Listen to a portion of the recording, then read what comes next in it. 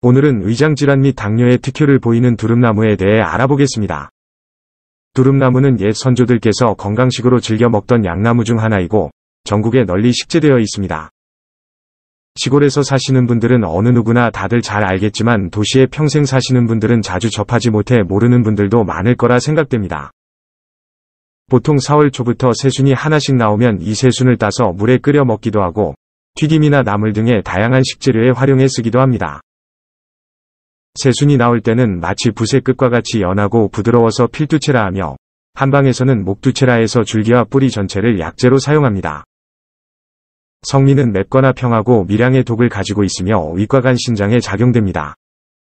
현재 당뇨 혈당 감소와 항암작용, 방사선 억제 비만증 두통, 간염 관절염 위궤양 발기부전 등의 다양한 양리 효과가 알려져 있습니다. 먼저 서울대학교 실험에서 위염과 위궤양에 대해서 높은 효과가 있는 것으로 조사되었습니다. 이는 두릅나무 금피에서 위손상에 미치는 효과를 검토한 결과 뮤신 성분이 현저한 저지 효과가 있음을 확인하였으며 강력한 유효 분해김을 분석하였습니다.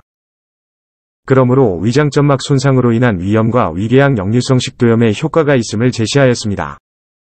특히 위산이 식도로 흘러들어가면서 생기는 속쓰림과 통증을 줄일 수 있고 또한 식도에서 염증과 궤양을 감소시킬 수가 있습니다. 그리고 최근 식물학회 실험 보고에는 두릅나무 수피 껍질에서 종양 억제 작용이 보고가 되었는데 위암세포를 사멸하는 것으로 보고되었습니다. 위암 이외에도 폐암과 간암, 전립선암, 자궁경부암의 다섯 가지 암에 대해서도 매우 유효한 것으로 밝혀져 있습니다. 이런 항암 치료와 위장 질환에는 드릅숲이나 뿌리 껍질을 잘게 자른 후 햇볕에 말려 사용합니다.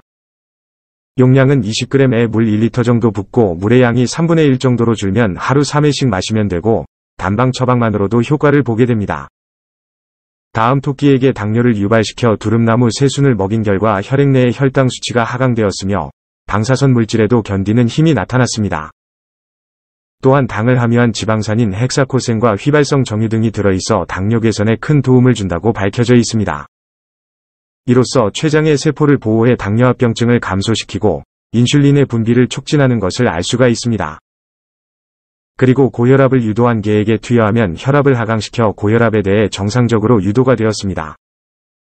당뇨와 고혈압에는 새순을 데쳐 먹거나 말린 수피 껍질을 5에서 10g씩 물로 달려서 하루 3회씩 식사 후에 마시면 식후혈당을 잡을 수가 있습니다.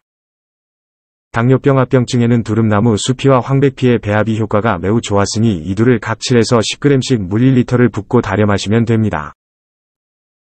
그 밖에 토끼의 장관과 자궁근에 미치는 실험에서는 두릅의 사포닌의 일종인 엘라토사이드 성분이 장관 및 자궁 흥분작용이 나타나서 성호르몬 작용에 유효한 것으로 분석되었습니다. 그래서 콩팥의 생식 기능을 자극시켜 남녀 호르몬 분비를 촉진시키고 색정을 비하는 것으로 알려져 성욕과 발기력을 높여준다고 합니다. 정력 강화에는 두릅나무 껍질 생것 20g을 물 3홉을 붓고 2시간가량 끓여서 물의 양이 절반 정도 되도록 달이거나 달인물로 감추를 해서 복용하면 됩니다. 그리고 1일 3회씩 식전 공복에 복용하면 되고 뿌리나 줄기를 일주일 정도 말려서 술을 담궈서 사용해도 좋습니다. 두릅나무 전초에는 미량의 독성작용이 보고되어 반드시 법제를 잘해야 되고 너무 많이 먹게 되면 복통과 설사 증상이 따를 수 있으니 주의해서 드셔야 합니다. 시청해주셔서 감사합니다.